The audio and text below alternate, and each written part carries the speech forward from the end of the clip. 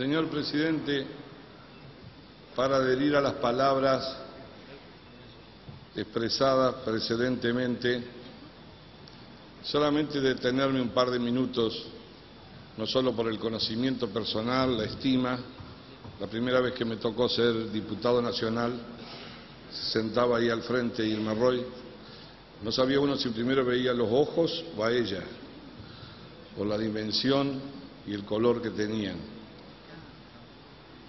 Irma Roy, eh, mi criterio, sintetizó dos temas bastante difíciles de explicar y de llevar en el tiempo.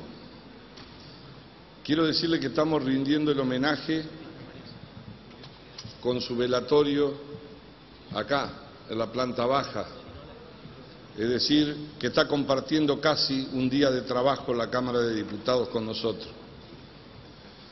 Fue diez años diputada nacional para hablar primero de la política. Estuvo exilada, volvió con el retorno a la democracia, tuvo compromiso con la lucha de género, tuvo compromiso con las leyes a las que se hizo mención recientemente, pero esencialmente compartía la vida del teatro, cosa que particularmente a mí también me permite apreciar mucho.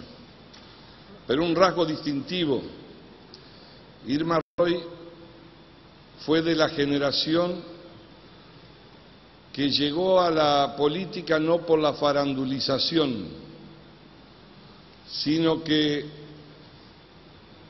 fue una dirigente política que además era actriz, porque tenía convicciones, o siendo actriz también hacía política pero no fue el resultado de la búsqueda de dirigente por la crisis de la política, por lo que representaba su imagen en los albores de la televisión o del cine y que tanto se la veía, ni tampoco por su belleza personal. Para despedirla diría yo que tengo una enorme contradicción. Se fue una militante política, hasta hace pocos días, poco tiempo, la hemos visto en algún canal de televisión, siempre con sus mismas convicciones, con su mirada particular sobre el peronismo. Pero ¿cómo la despedimos? Diciendo, como dicen los artistas, se fue de gira o acaba de morir una militante que se comprometió con la democracia, con el valor de la vida, con la solidaridad y con sus convicciones políticas.